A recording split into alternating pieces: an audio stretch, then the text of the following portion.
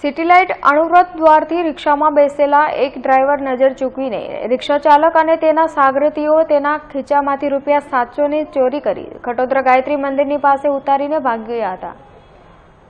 બિહાર સીતામણી જિલ્લાના માણેક ચોકના વતની અને હાલ વેસુસુડા આવાસમાં રહેતા શિવકુમાર રાજકારણ મહંતો ડ્રાઇવિંગ કરી પરિવારનું ગુજરાન ચલાવે છે.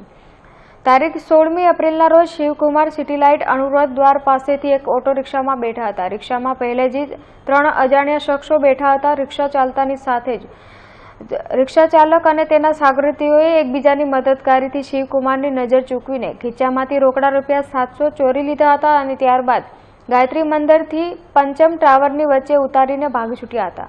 આ બનાવ સંદર્ભે શિવકુમારે ખટોદરા પોલીસ મથકમાં ફરિયાદ નોંધાવી હતી. પોલીસે ગુનો નોંધી વધુ તપાસ હાથ ધરી છે.